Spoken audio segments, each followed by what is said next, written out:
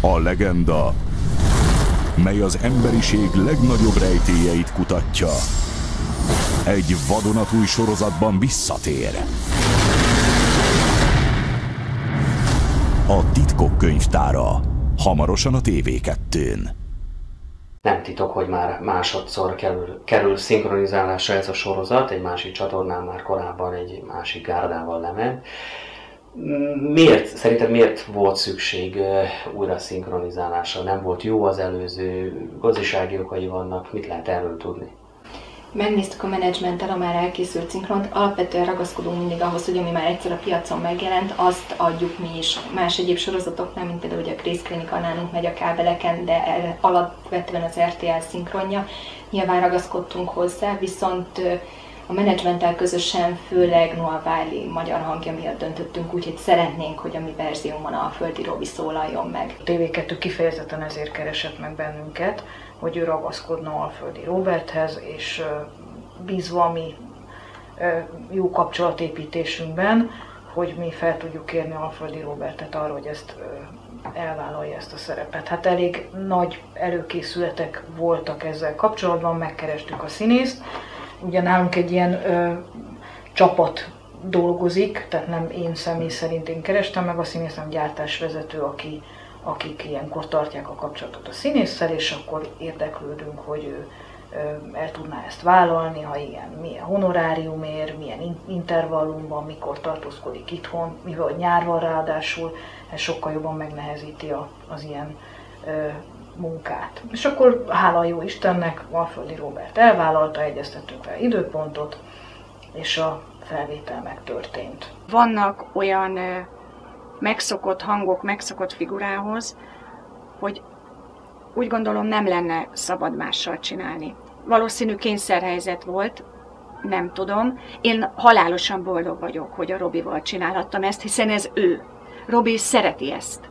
Tehát ő hozzánőtt ehhez. Tehát vannak ö, hangok, akiket nem lehet leválasztani arról a figuráról, mert hiszen itt jön be újra a néző, aki ezt véleményezni fogja, és megint nem tudjuk neki elmondani, hogy azért nem ő csinálta. De hogyha James Bond nem Kautsky Armand, akkor itt palota forradalom van. Tehát nem, nem lehet leválasztani megszokott hangokat megszokott figuráról. Én, én, nagy vészhelyzet rajongó voltam, úgyhogy nekem az ő, ő, ő figurája, vagyis hát a, a színész összenőtt az ő hangjával.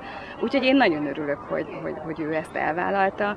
Szerintem sokan vannak így vele, biztos nagyon jó lesz a végeredmény. Vigyék a könyvtárba, éjfélkor végzünk vele.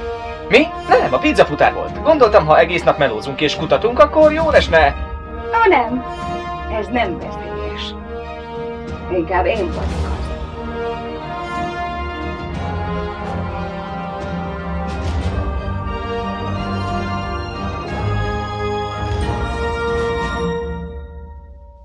imádtam a Robival dolgozni. Nagyon örültem, hogy elvállalta, és nagyon jó hangulatú munka volt. Tehát a vele való munkálatok már befejeződtek? Igen, igen, őt már fölvettük, őt majd felvételről fogod hallani, tehát ő most ma már nem lesz itt. A hármas törvénye. A kettes számú listában. Ennek kódja lenne. 2733. Á, ordít. Jó.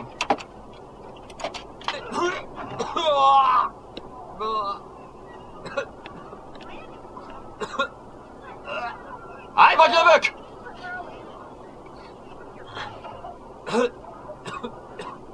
Kezeket a tarkóra! Gyerünk! Megfordulni! Ki maga?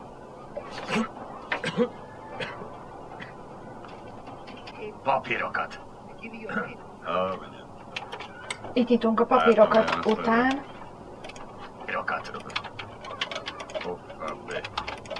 Még meg nem oldottuk a határvitát. Papírokat. A papírokat. Egyébként nem vagy... Hoffa be! Engem ütött le először, ugye? Nem, most ugrott. Most akkor az az utolsó már térdel, csak nem tudtam, hogy hogy került térdre.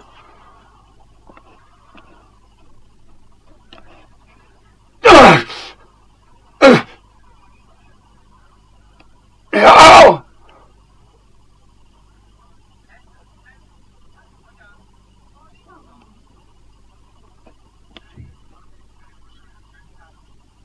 A MacGyver. Mennyi előzetes munkát igényel egy szinkronnak a felvétele? Illetve hogy zajlik ez a folyamat?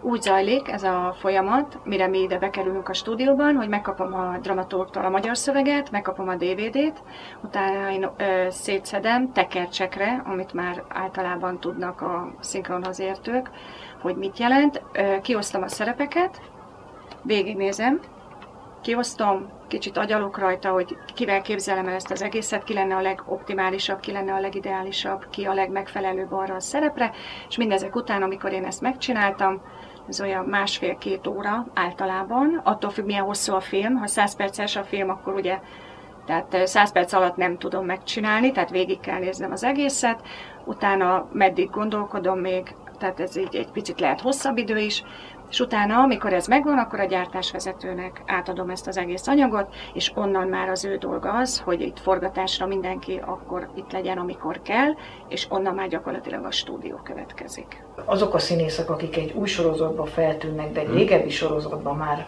szerepeltek nálunk, és ez a sorozat pont a TV2-n került adásba, akkor ott mindenféleképpen meg szoktuk tartani a hangot. Uh-huh.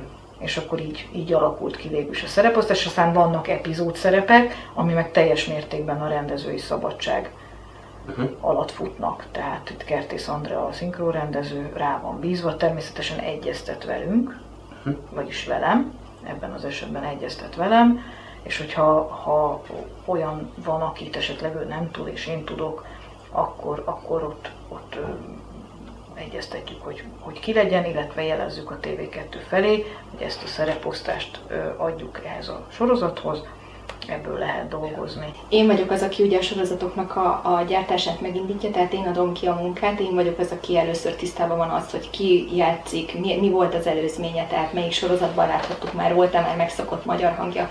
Ezeket én, amikor kiadom a gyártást, ezt ellenőrizni szoktam. Nyilván, hogyha van egy ilyen, akkor arra kérem a, a gyöngyéket, Borgyöngyit, aki ugye az itteni ö, kolléganőm, hogy erre figyeljenek és próbálják meg ugyanazokat a színészeket felkérni.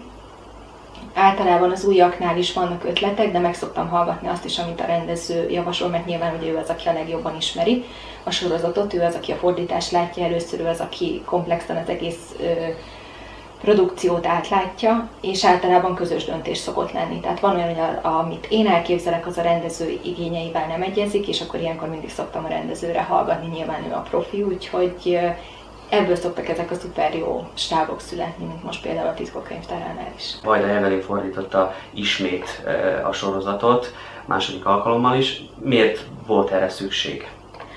Azért volt rá szükség, mert ugye a, a maga a szinkron az a film részét képezi, tehát nem elválasztható a filmtől a kép és az eredeti hang, illetve a magyar hang, az egy komplett egységet alkot. Ez a komplett egység, ez mindig a ö, forgalmazónak a joga. Tehát nem lehet azt, hogy a film szövegét én felhasználom egy másik ö, produkcióhoz. Mindig minden esetben új anyagot kell készítenünk. Ebben a szerencsés helyzetben voltunk, hogy Vajda Evelyn ugye már több mint 15-16 éve dolgozik a Masterfilmnek. Állíthatom így az én 20 éves tapasztalatommal, hogy a Magyarország 10 legjobb dramaturgiai közé tartozik, és nekünk ez nagyon fontos, hogy a hogy az olyan sorozatok, mint például ez a sorozat is egy olyan dramaturg kezébe kerüljön, aki kiváló technikai és, és fordítói ö, múlttal és profizmussal bír. És hát természetesen, mivel hogy az a- a fordítás, fordítókkal való kapcsolattartás az én feladatom, ezért én felkerestem Evelint, és felkértem erre a munkára, és aki örömmel vállalta el, és én úgy gondolom, hogy neki is egy, egy olyan fajta kihívás újra megírni egy sorozatot, amikor, amikor én azt gondolom, hogy, hogy az ember lehet, hogyha ha többször ö, csinálhat meg az életben valamit, akkor mindig egyre, egyre jobban, jobban ö, tudja megcsinálni, és én nagyon bízom benne, hogy a végeredmény ezt fogja mutatni hogy az első szinkronos biztos kiváló lett, amit nem Alföldi Robert szinkronizál, de nagyon szeretném, hogy a Masterfilm által és az Evelyn által írt új szöveg eh, hozza azt a, azt a dolgot, amit itt, itt a TV2 is elvár tőlünk. Amikor földrengés rombolta le San Francisco-t, az előtte vagy utána volt? Most, hogy így már másodjára szinkronizálsz, mennyire, mennyire könnyebb, tehát mennyire látod előre, valamennyire azért előre látod ugye a sorozat kimenetelét. Hogy... Igen, sok, sok könnyebbséget okoz, már csak azért is, mert akik esetleg először csinálják, ugye nekünk, akik másodjára, mert többen vagyunk, többek között például Rohat és Andi is, nekünk sokkal könnyebb, mert látjuk, az, ugye, ahogy te is mondtad, az egészét, illetve egy-egy jelenetet esetleg emlékszünk, tudjuk, hogy mi fog történni, illetve hogy mi az, ami, ami esetleg hangsúlyt kap a későbbiekben, mire figyeljünk oda. Nagyon jó érzés másodszorra is szinkronizálni ezt a sorozatot. Elsőre is nagyon szerettem, és külön köszönöm a gyártásvezetőnek és a rendezőnek is, hogy megvártak mert amikor elkezdtük ezt a sorozatot, éppen másnap utaztam külföldre, úgyhogy most folytatjuk. Úgyhogy örülök, hogy, hogy megvártak, és örülök, hogy, hogy újra részt vehettem ebben a munka folyamatban. Igen, Jenkins lefoglalta. Nem vagy gonosz? Nem, nem érzek különbséget. Egy rész volt, aminek nem tudom sajnos a címét, de, de ez már az első részben sem tetszett, mert egy kicsit nyomasztó volt, és az most ugyanúgy, ugyanúgy álltam hozzá a részhez, de, de túllendültünk rajta, de a többit, többit nagyon szerettem. Szerintem mókás, kedves, bohókás, kicsit naív néha, de, de jó munka mennyire szereted a karakteredet, ugye őt már nem, ebben a, nem csak ebben a sorozatban szinkronizáltad, hanem korábban is, például az elveszett erekék Igen, az elveszett erekék posztogatóiban pont Andi rendezte, Kertész Andi rendezte az előző sorozatot itt, úgyhogy annak kapcsán kaptam meg a, a másik csatornán is ezt a szerepet, illetve hát Andi rögtön tudta, hogy ez a figura már, már az enyém volt, idézőjelben az enyém volt, és most újra úgy gondolta, hogy akkor, akkor, akkor legyek megint én.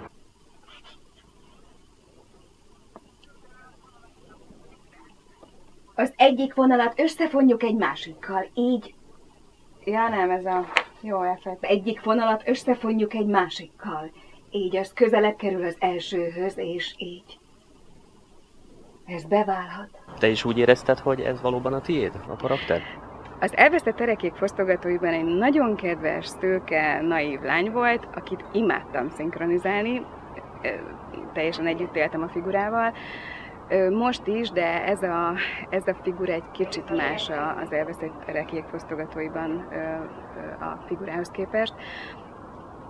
Ő, ő is egy kicsit naív, tehát ezt a vonalat visszük tovább, de, de ő nagyon okos, nagyon jó matekból, amit én mondjuk magamról nem mondok el. 16. Több elém, tényleg ezért Várjunk, P. Puzzle rejtvény, mondjuk könyv... könyvek, könyvek Vagy mondjuk Fibonacci? Fibonacci. Uh-huh. Több elém, tényletünk ezért. Várjunk, P. Puzzle, rejtvény, mondjuk kövek sorozata, némelyik talán kiáll. Mondjuk emelkedik, emelkedő Fibonacci. Fibonacci. A Fibonacci számsor aranyecés, aranyint, mint méz, mézés, méhek, mézés és zapkása. Azt szeretem ebben a sorozatban, hogy sok olyan, olyan részt van, amikor amikor kizökken a figurából, tehát más, más hangon kell beszélni, más karaktert kap a, a, az adott részen belül a, az én figurám, és ez jó, mert így más, más tónusát is megmutathatom a hangomnak. Ó, nem! Ez nem veszélyes. Inkább én vagyok az.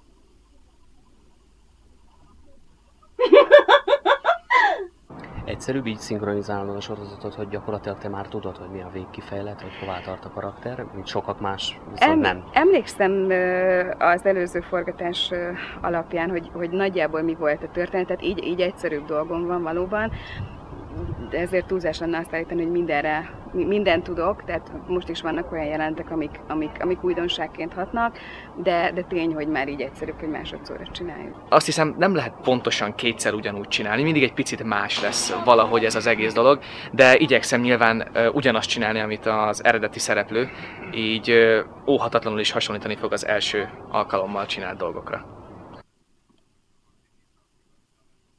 Jenkins, tudja mi a hip-hop?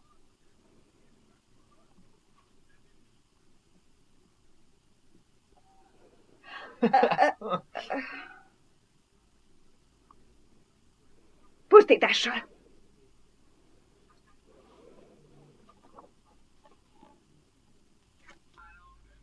Végre elkezdtem kortában Ezek nem mondják, hogy néha bulizzak egy kicsit.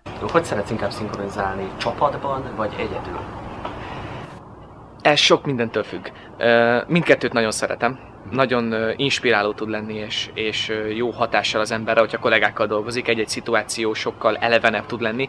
Ugyanakkor az egyedüllétnek megvan az az előnye, hogy talán az ember egy picit gyorsabban haladhat adott esetben, valamint sokkal inkább nem a szituációra és, és arra, hogy, hogy éppen a kollégák mit hoznak ki belőle, hanem az eredeti színészre koncentrál.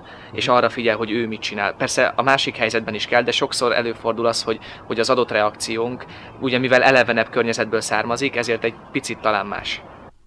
Ez egy szóda bikarbóna vulkán. Hello, és üdvözletem a magma világában. A mai projektem a... hát ez nem fog menni.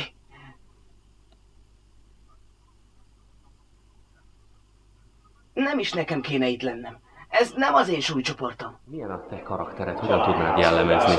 Hát egy fiatal ember, aki tudós is játszik, kisebb-nagyobb sikerekkel, aztán rájön, hogy nagyobb sikerekkel a végén. Aha. Mennyire szereted, mennyire tudtál azonosulni a karaktereddel? Hát ez egy fura kérdés, ez nem volt azért egy olyan nagy szerep, nem is visszatérő szereplője a sorozatnak, de hát egy fiatalból a gyerekhez mindig jó játszani és könnyű azonosulni. Alapjáraton te is egy ilyen fiatalos bolond gyermek vagy Annyira már fiatalos nem, de a bolondság azért az még megvan benne. Nem tudom. Csak azt hallottam, hogy egy rakás fura dolog történt velük. Jonah Gordon egy igazi Einstein. Lebénult egy vírustól. Egy másik srác olyan ritka allergiát kapott, ami 10 millió emberből egynél van meg. Kapott. Kapott. Lebénult egy vírustól. Vírustól 34 gyerek.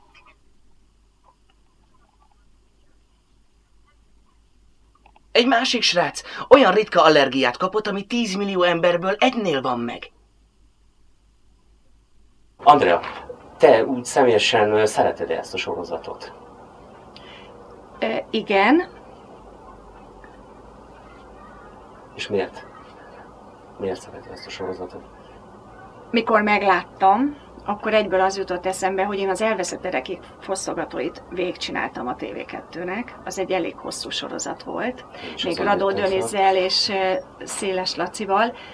Imádtuk de ott mindannyian, és az is egy nagyon jó hangulatú forgatás volt, szintén a TV2-n ment, úgyhogy egyből éreztem, hogy na, ez ugyanaz a stílusú sorozat lesz, nagyon érdekes. Alapvetően az a, az a nehéz ebbe a szinkronizálásba, hogy ha kapsz egy figurát, nincs idő arra, hogy ismerkedj vele tehát, hogyha bejössz a stúdióba, akkor általában az van, most képzelj el például egy, egy pörgős olasz filmet, ahol rettentő tempóban beszélnek, egymásba vágnak, és ráadásul még ott is figurák vannak. Tehát nem mindegy, hogy a tempó nem elég, ott sarkítani kell egy bizonyos a beszéd stílusban is, egy picit menni kell utána, amint a vásznon lát az ember. Tehát pontosan az a lényeg, hogy amikor te meglátsz egy figurát, azt le tud kopírozni amit látsz a vásznon, azt pontosan vissza tud adni hangban.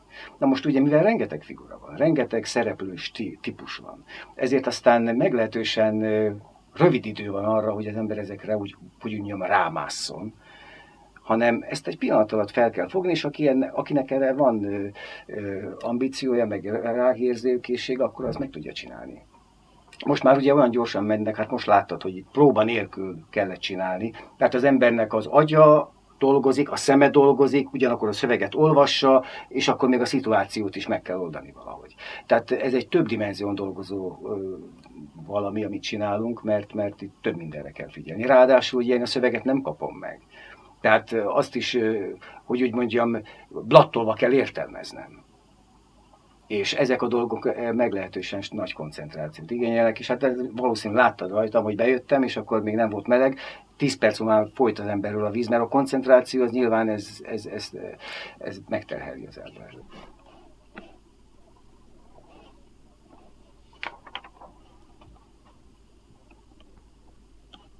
Bocsánat, más rossz pillanatban.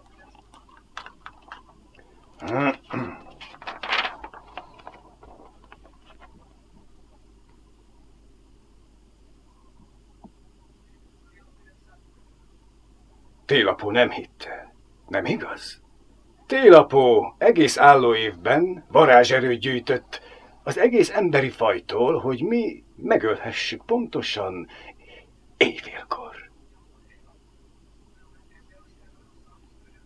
Így áramlik belénk az összes varázserő. Átáramlik. Így, átáramlik belénk. Itt nyitunk.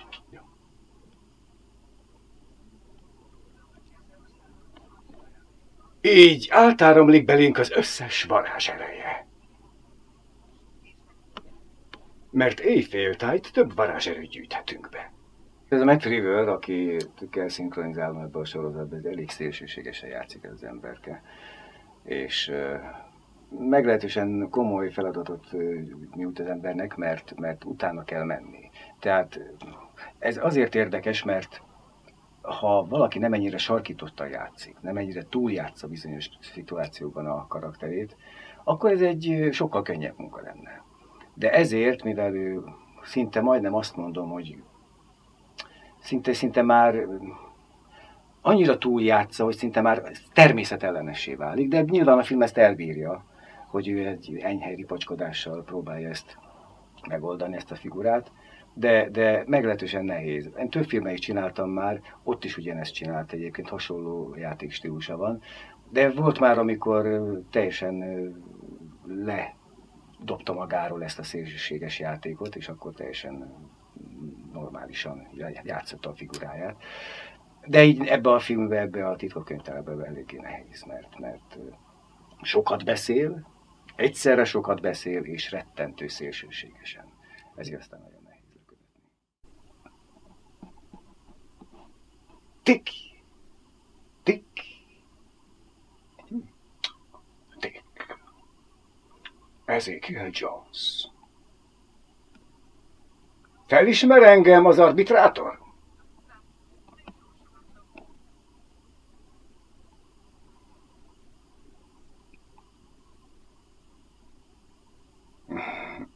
Hmm.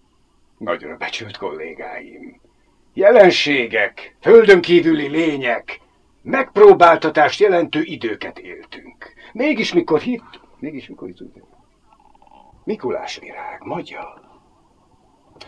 Vigyék a könyvtárba, éjfélkor végzünk vele.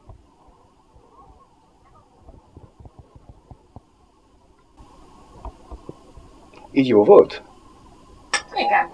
Mi az a magyar? Nem magyar? A magyar le. Növény. Ez a Ja, tudatlan embere. Gyakran osztanak rád egyébként ilyen szerepeket, aki, mint például e, ez a szerep, tehát egyrészt aki ilyen szélsőségesen játszik, másrészt aki, aki ugye hát egy gonosz e, szerepet alakít. Hát igen, a családom többször mondta, hogy valakik látnak bennem valamit, mert elég sok negatív figurát szoktam megszólaltatni, és uh, nyilván ez nem attól van, valami olyan hangszínen van nyilván, egy olyan unszimpatikus valami, ami ezekre a figurákra nyilván, nyilván illik.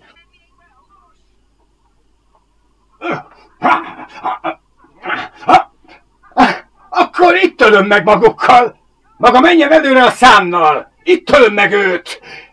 Itt, helyben!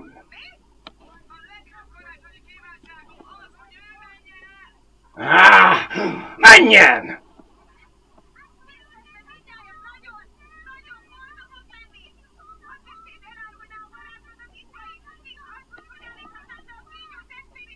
Ah, ah,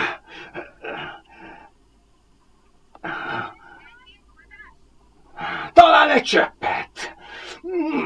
Megtörtént a felvétel, az előkészület, és hát gyakorlatilag fölvettük az összes anyagot, minden színész. Mi zajlik ezután a munkálatokban? Felvettük az utolsó mondatot is, készen vagyunk a tíz résszel. Most az egész anyag elkerül a vágóhoz, ő még ö, helyére teszi az összes hangot, minden mondatot, amint tud még javít.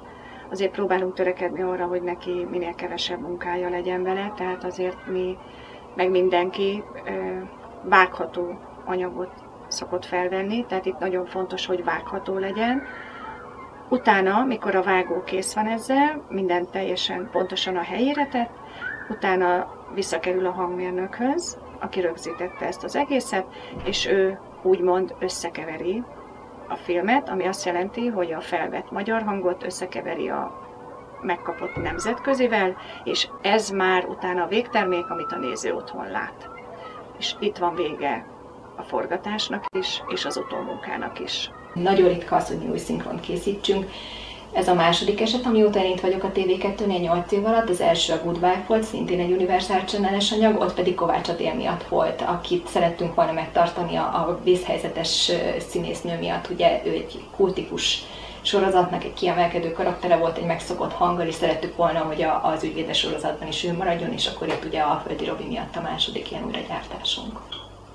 Én úgy gondolom, hogy Alföldi Robertet a nézők, mint magyar hangban, ugye annó a vészhelyzetben ismerték meg, és a vészhelyzetben lévő fi- figura annyira szerintem a nézőknek a szívéhez nőtt, hogy ha, ha most ez a sorozat szintén az ő hangjával fog újra a vászonra kerülni, sokkal, sokkal többet fog a nézőknek adni. Ö, Nem tudom, hogy melyik réteg lesz az, akit ez megtalál, de mindenki talál benne majd olyat, ami miatt tetszeni fog neki. A fiatalok azért, mert nagyon érdekes sztorik, nagyon érdekes történetek, és esetleg még nem hallottak ezekről a sztorikról. A idősebbeknek meg a meseszerűsége, meg azért, mert már hallottak ezekről a sztorikról. Tehát Artúr király koronájától kezdve ö, sorolhatnám most a tíz résznek az alcímét, de hát úgy is fogják látni a nézők. Bízom benne, hogy nagyon fogják szeretni. Mi mindent megteszünk ezért, rajtunk nem múlik. Tehát tényleg olyan ö, szinkrongárda vonult itt föl, hogy a hangokban is és a színészekben is maximálisan mindent elkövettünk azért, hogy ez nagyon ö, tetszen mindenkinek. Minden titkok őrzője. Én vagyok a könyvtáros. A mágia beavatott szakértője. Örökös harcot vívunk gonosz szektákkal, szörnyetegekkel. Ez a végzett láncsány. Egy vadonatúj sorozatban visszatér. Ez pedig a frigyláda.